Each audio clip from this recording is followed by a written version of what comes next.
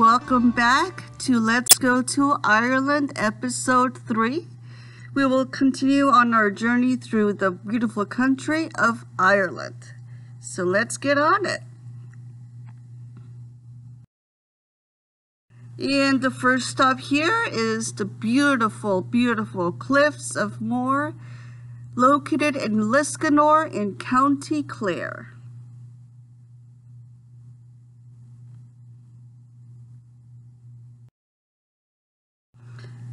Cliffs of Moher, located along the Wild Atlantic Way, is Ireland's top tourist attraction. It is located on the west coast of Ireland in the famous Wild Atlantic Way route. The cliffs rise from the ocean to 702 feet at their highest peak and are five miles long. The Cliffs of Moher are part of a special protected area where over 20 different species are represented.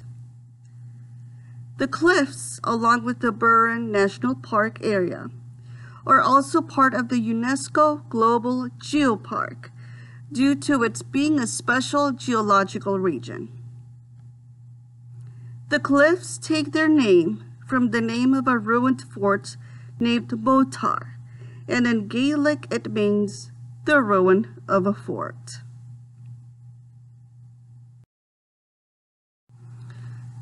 O'Brien's Tower on the Cliffs of Moher.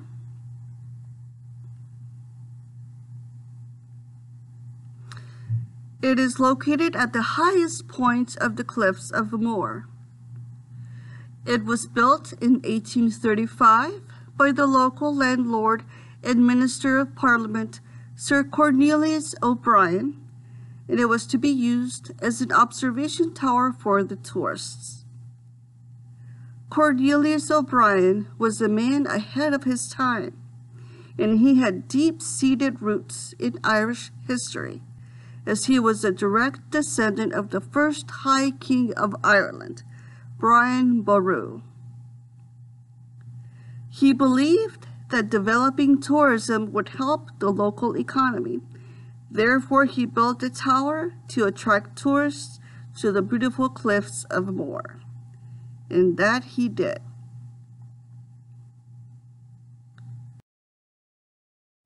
Next stop is a typical Irish experience that everyone should get an experience of when you are visiting Ireland. This is the Rathbaun Farm, a family sheep farm located in Ardrahan, County Galway. And you can see the sheep right here. Very typical throughout of Ireland. You see them frolicking on the landscape and they can also cause some traffic disruptions, but it's quite an experience to see.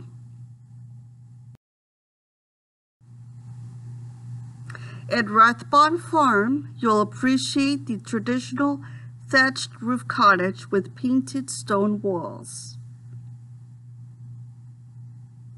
The picture below, you'll notice how intricately cut the thatched roof is, and it gives the building a quaint, old-world charm.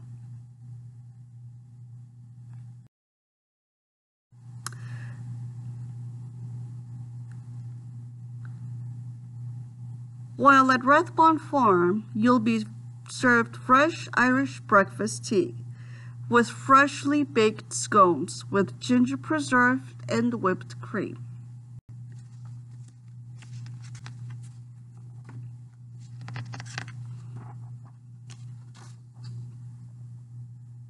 For a small fee, you may purchase the recipe along with the tin used to cut the batter.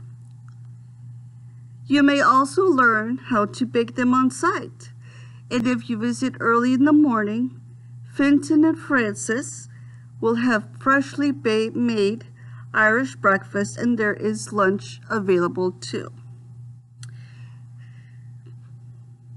And at Rathbaun Farm, you can immerse yourself in all the activities of sheep farming while exploring the farm's grounds, such as these thatched roof homes, which you'll see throughout the Irish countryside.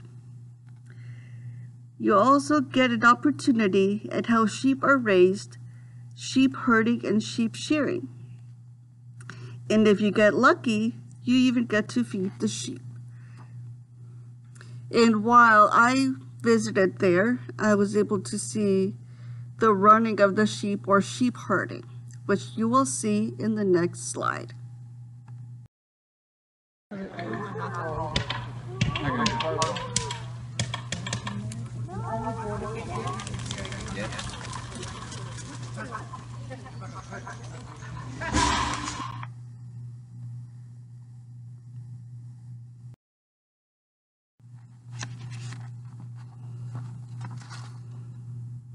Kylemore Abbey and the walled gardens of Connemara, County Galway. So here is our next stop in County Galway, located in the beautiful and cultural region of Connemara. This is the beautiful Kylemore Abbey. It's one of the more popular tourist attractions in the Connemara region and its famous walled garden situated among a lush green, green landscape gives people the opportunity to walk among beautiful, lush, natural scenery.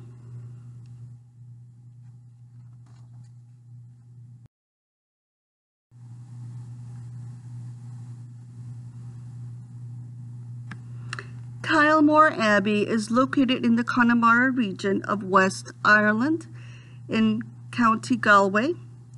Connemara is known for its wild, mountainous landscapes and lakes. It is a Gaeltacht region, which means it is one of the majority Irish speaking regions in Ireland, where the Irish language and culture are kept intact. In this beautiful region, Kylemore Abbey was built originally for Mitchell Henry, a London doctor in 1868, and he moved there with his wife after having traveling there in the 1840s for their honeymoon. The abbey remained in Henry's possession even when he returned to live in England, and then it was sold in 1903 to the Duke and Duchess of Manchester, who resided there for many years before selling it due to a large gambling debt. In 1920, it was purchased by the Benedictine nuns who fled Ypres, Belgium, when their own convent was destroyed during World War I.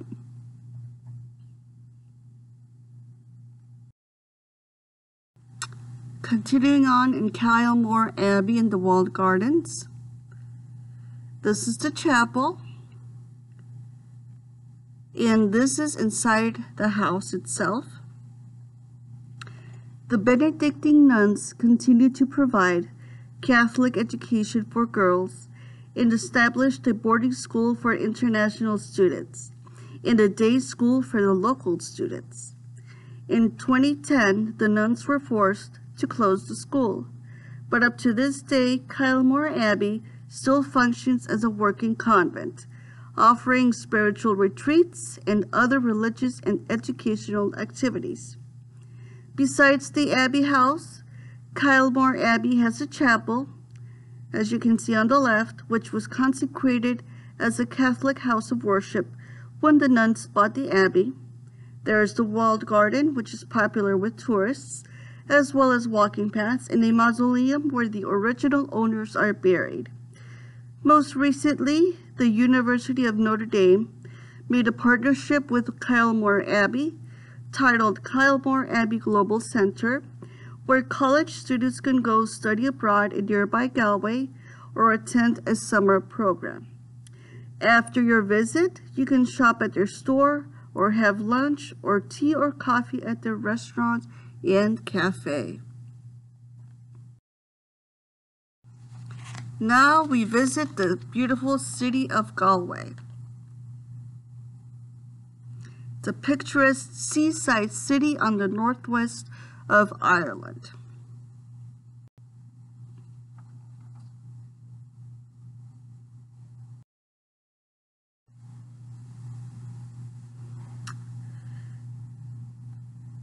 Galway is located in northwest Ireland in County Galway along the Atlantic coast.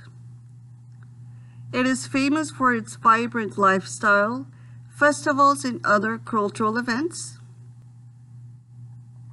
It is also known as a university town, as the National University of Ireland in Galway is located there. It is also known as the place where the famous Claddagh ring comes from. So the city was first settled in 1124 by the king of Connacht, and it was named Dún Gaillimhe, or Fort at the mouth of the Gaillim. During the Norman invasion of Connacht in the 1230s, Galway was captured by Richard More de Burgh.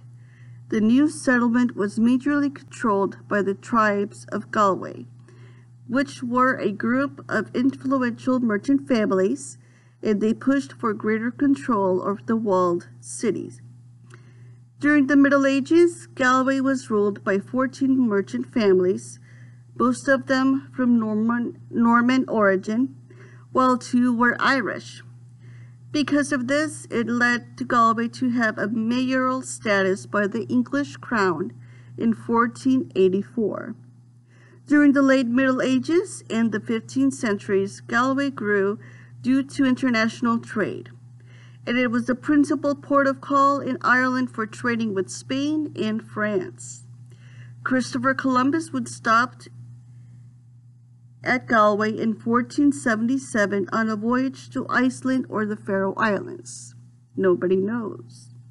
During the 16th and 17th centuries, Galway remained loyal to the English crown, but in 1642, the city made alliances with the Catholic Confederation of Kilkenny.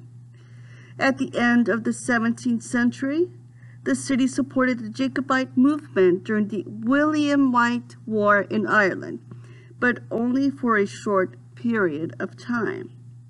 The city suffered from the potato famines in the 1840s, and it didn't fully recover until the late 20th century. Today, it is a lively, vibrant city, a university town, and it hosts many festivals, celebrations, and events throughout every year. In 2018, it was named the European Region of Gastronomy and in 2020 it was named European Capital of Culture of 2020, along with the Croatian city of Rijeka.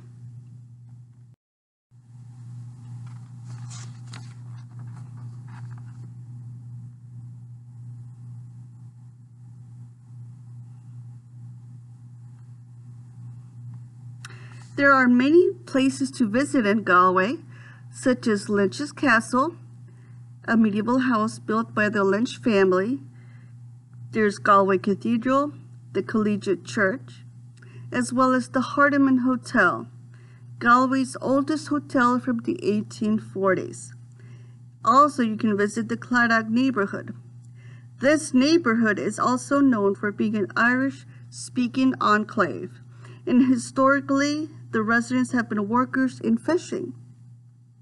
For many years, the Claddagh neighborhood has had a king of sorts that worked to settle or arbitrated disputes with the locals and had the privilege of a white sail on his fishing boat.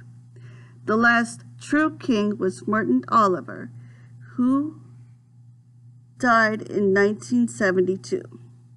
Nowadays, the title is merely honorary and ceremonial in nature and the current king of Claddagh is Michael Lynskey. The neighborhood is also known for the Claddagh ring, which is shown on the right picture, is famous all across Ireland. The Claddagh ring is a traditional Irish ring that represents love, loyalty, and friendship. The hands represent friendship, The heart represents love, and the crown represents loyalty. The Claddagh ring is part of a group of finger rings called fede rings, and the word fede derives from the Italian phrase mani in fede, or hands joined in faith. These fede rings date back to the Roman times, when the gesture of clasped hands was a symbol of pledging vows and were used as engagement or wedding rings.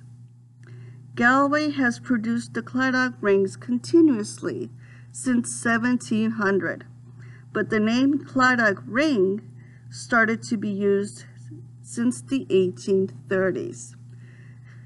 The way to properly use the Claddagh ring is on the right hand with the point of the heart towards the fingertips, the wearer is single and looking for love. If the point of the heart is inward towards the wrist, it means the wearer is in a romantic relationship. On the left hand, if the point of the heart is outward towards the fingertips, it means the wearer is engaged. If the tip of the heart is inward or towards the wrist, it means the wearer is married. Today, you can buy an authentic Claddagh ring here in Galway or across Ireland, and it is a popular souvenir to buy.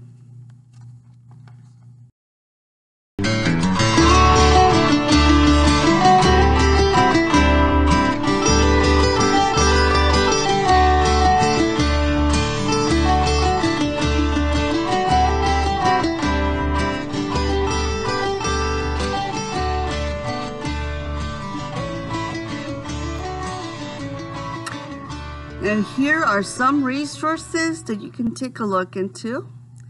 Again, the official tourism website, ireland.com. The Cliffs of Moher, www.cliffsofmoher.ie. Rathbaun Farm official website is www.rathbaunfarm.com.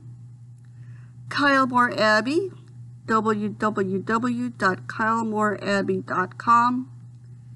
City of Galway Tourism website, galwaytourism.ie. And some recommended Galway hotels. Connemara Coast Hotel, located in Furbo, County Galway. This is where I stayed, and it's beautiful and located along the Galway beaches. Hardiman Hotel, Galway's oldest hotel. In traveling to Ireland from the US, here are some COVID 19 restrictions that you can take a look at through the US State Department website.